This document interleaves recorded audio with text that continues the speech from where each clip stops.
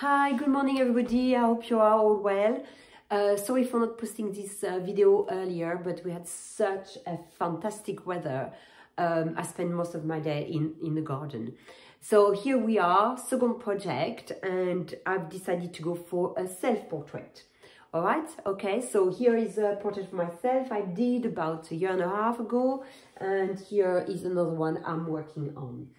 Uh, but before we go into the self-portrait itself, um, I'm going to show you some example of famous artists uh, who did their own portrait. The first one I want to show you is very famous. Uh, he lives 400 years ago and it's called Rembrandt. He was a Dutch painter, very famous in his lifetime. So here it is, he's 24 years old, it's one of his first portraits. Um, it's called a self-portrait with a beret with wide eye, okay? Uh, in his uh, during his lifetime, he apparently um, uh, has done uh, about 100 self-portraits, okay? So here's one, and here is another one uh, toward the end of his life, okay? Uh, this one is called Self-Portrait with Two Circles because you've got one here and another one over there. Um, his motivation to do self-portraits was, I suppose, um, to show people how good he was. So uh, people would commission him to do their own portrait. Uh, but also he was such, uh, he was uh, so famous during his lifetime, people would buy his self-portraits. Like a little bit us, um, uh, buying a poster of our uh, of a famous singer or a fa singer we like and and on put it uh, uh, putting it on on the wall. Okay, so here is another one. Um, I'm going to show you an, another uh, very famous uh, painter. He was also Dutch, Vincent van Gogh. Um, so unlike Rembrandt, he was uh, totally poor. He didn't have any money. He couldn't pay a model to uh, pose for him and do his self-portrait. Uh, so he did uh, his own self-portraits. Um, it was a way to, you know, use his technique and, and get better at, at painting. Um, he did apparently 36 uh, self-portraits over a period of 10 years. And on this one, he's actually 36 years old. Okay, so that's another uh, painter. Um, the next one I'm going to show you, she is a Mexican um, artist, Frida Kahlo. So Frida Kahlo um, had another motivation um, uh, to do um, to, to paint a picture um, when she was, she has a tough life. When she was six years old, she um, uh, had poliomyelitis. So poliomyelitis is a disease that affects your legs and they don't grow. Um, she There is a vaccine, thank God for that now. Um, but she, she had that. And then when she was 15 years old, she had a, a, a terrible accident, which, um, uh, and, and, and because of that, she had to have complex um, operation to make to make it better. So she was uh, in a bed most of the time uh, to recover from um, the surgery she had. So for her to do a self-portrait was um, a way to communicate with the viewer, with us, um, her, mental and physical suffering. Uh, what is interesting in Frida Kahlo's uh, self-portrait is what she put behind a picture. Um, so for example, on this two one here, she put a bird and a, a butterfly and uh, two animals that can fly. So maybe what she wants to communicate to us is that instead of being in a bed, knowing uh, in pain, not being able to move, uh, she wish she would be one of those animals, you know, um, able to fly and, and, and move around and travel. All right. Um, so she did in her lifetime uh, 143 paintings and half of them, or, or, or uh, no, not so much, but 55 of them were self-portrait. All right. So that's another artist. Um, and I'm going to show you two more, okay? Um, the other one is, again, very famous. Uh, he was Spanish, Pablo Picasso. So Pablo Picasso, his motivation to do self-portrait, uh, obviously at the very beginning when he's a young man to show his technique and how good he is at, at, at drawing. But I think as he grew older and and and uh, Picasso was very interesting as a painter because he changed his style. He was always looking for a new style, a new way of painting. So I think his self-portrait reflects all the style he went through as an artist. So here he is um, when he was, I think, 15. Um, here he is when he was 35. Uh, Picasso, so yeah, and what he was looking into his picture is the reduction of line. Try to do something, try to, to show a, a picture without too many lines, but still have the essence of, of what he was drawing. So here he is. And the last one, when he was 90 years old, he was still painting. And here is another one of him. Okay? So here he, it is. I'm going to put them here and I'm going to put maybe the line drawing as well on the board. Here. Lovely. And the last one uh, we talked about him uh, already in the first video uh, Andy Warhol. Uh, Andy Warhol um, he did a self-portrait but more toward the end of his life okay? Uh, and instead of drawing like all these other artists he would uh, use uh, pictures. And that's what I want us to do for our self-portrait uh, today. So pictures, and he would use a technique called um, screening. So it's a, a technique that allow you to draw a picture over and over and over and change the, the, the color of the paint as you go along. So here is his self-portrait and he would do, you see, the same portrait, but in a different colors, okay? Um, and here you've got, it's very famous for series like that. So it's, again, it's himself with a different type of background, okay? All right, so I'm going to put this one in on the board, okay? So, so here we are. Um, so what I want you to do now is uh, grab your phone or a camera, okay, and start taking selfie of yourself, okay. So me, I have already done that, okay. So here is uh, uh, looking at the camera um, with my hair up. Um, you've got uh, another one, I've done another one with my glasses on. I've got another one with a three quarter, uh, looking away from the camera, uh, and so on and so forth, okay? I want you to come up with um, different selfie, choose the one you like the most. Um, uh, if you want to do your hair, for example, you want to draw your hair, uh, choose a profile. So you've got, you can experiment with your hair over there. Um, and, you know, and, and print it and and and um, and then we're going to to start um, doing our own self portrait. Okay, so see you in a minute. Um, you need obviously a printed um, um, picture of your selfie and um, the oil pastel and a pencil. All right, see you in a minute. All right, okay, so next stage, okay.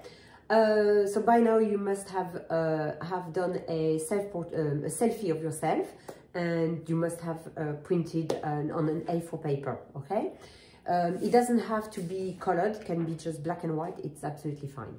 So I'm going to go for this one. Okay, um, I want you to grab your um, uh, oil pastel uh, stick. It doesn't have to be black black, you know, I'm going to use a black because it shows better on the video, but it can be any colors, all right? Um, so what I want you to do is turn over your paper. So I'm going to grab another one. turn over your portrait and obviously I've done it before so uh, but you can pause the video at that stage all right okay and do it um, and I want you to darken the whole area behind your portrait okay?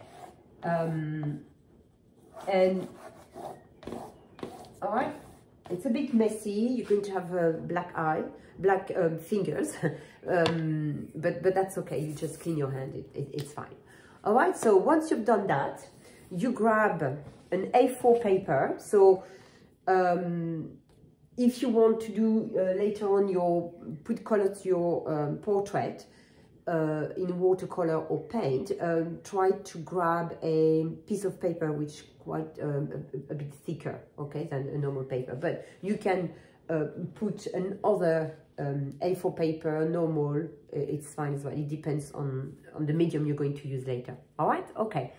So you're going to put both paper, so because they are the same size, corner to corner, okay? Make sure it's corner to corner because when, as you might have guessed, we are going to draw the line of your face, okay? And they're going to translate, they're going to leave a mark as we push the crayon um, on the paper they are going to uh, leave a mark on the white paper. The, the oil pastel is going to transfer onto the white paper, okay? So, but if you move your paper, then you can realign it very easily, corner to corner, and then you can carry on.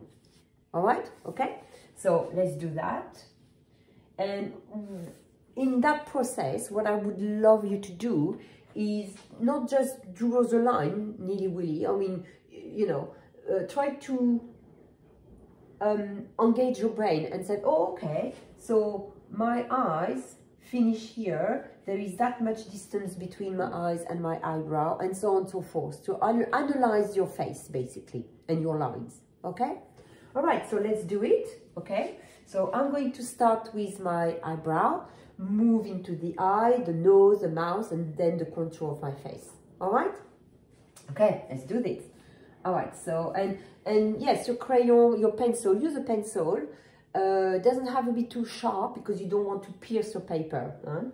Um, and, and the good thing with this technique is you can use this picture over and over and over again, providing you put more uh, oil pastel at the back. So like Andy Warhol, you could potentially do six of six copy of the same uh, face and paint them in a different colors, okay? Um, so yeah, so let's do it. So eyebrow, so all the curve, all the lines, sorry, that you've got in your face are curves. There's no straight line, no, no, no sharp angle, only curves, but there is a multiple of them, okay? Some are shallow, some are, uh, some are um, bit deeper than others. Circle, you know, dot, two dot two black dots um, for the pupil and so on and so forth okay? So take your time. Go slowly. You don't want to miss any line. And you want to do you want to make them as accurate as you can. Okay?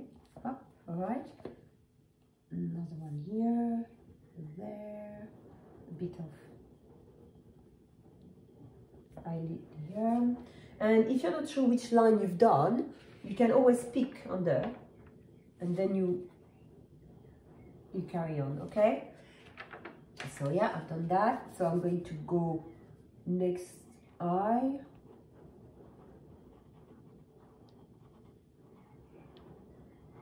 What? Oh, I think I've done the pupil before, yeah. So all the eyelashes and down here up this line here all my wrinkles. Up.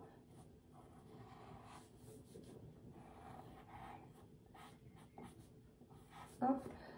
What else? Okay i've got more one more here. All right. So i've done my eyes and my eyebrow. Yeah. So i'm going to move on to my nose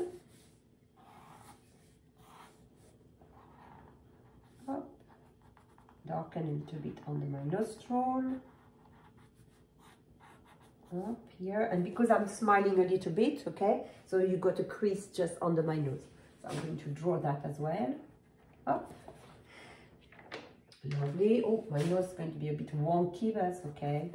Um, when you put colors, it'll be fine, okay? And it's just a demo, anyway. Um, so my cheeks here, a bit of here as well. And as you go along, if it's a colored picture, even black and white, you can see the area where it's darker and the highlights, okay? Where you don't want to put anything, you don't you want to, to keep the, the, the paper white, okay? Uh, right, okay, so the mouse, I can move on to the mouse now.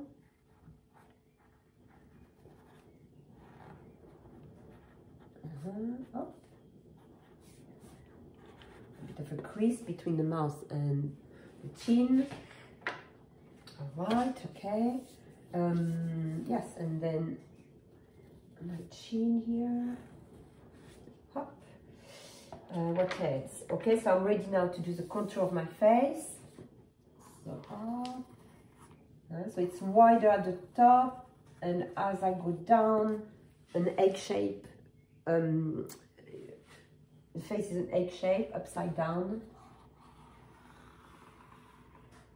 Kind of straight on the side and down. Okay, yep then I can move on to my, oh no, let's do the, the, the, the neck, okay? So, up, neck here, neck there, my jumper, up. All right. Okay, and then we can move into the air, okay? So you can do just the contour if you like, or you can go and draw all all the, the your hair okay so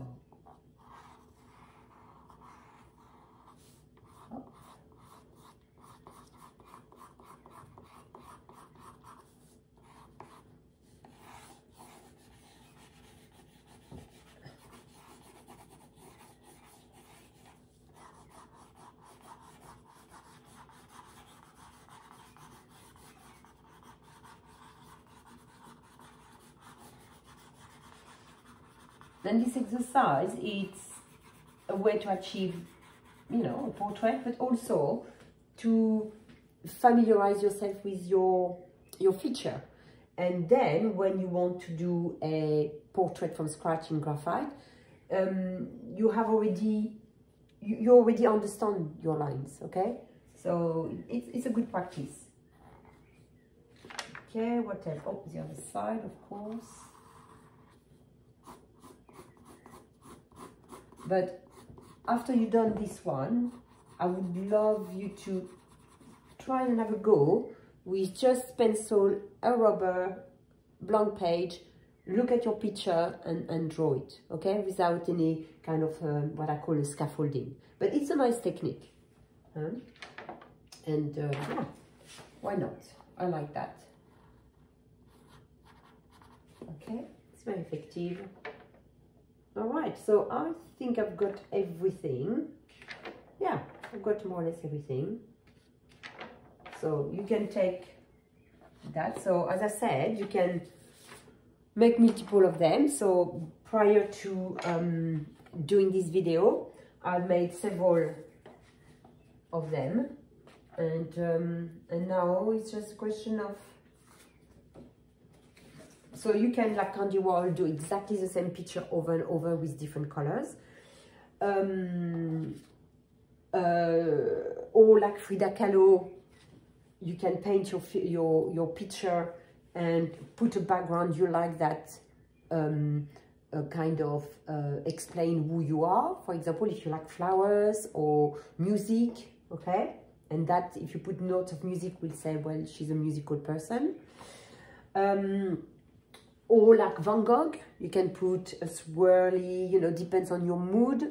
If you feel like uh, uh, tired, you can put a, uh, uh, a sort of a black uh, background with stars. So makes, you know, maybe it explains that you are a bit sleepy or um, you know, it, it, it, it's, or it's, it's your birthday. Maybe you did your self-portrait during your birthday, so you can put candles uh, and so on and so forth. Okay, so so it's up to you what message you want to put, you, to give to the viewer when you do your self-portrait. Okay.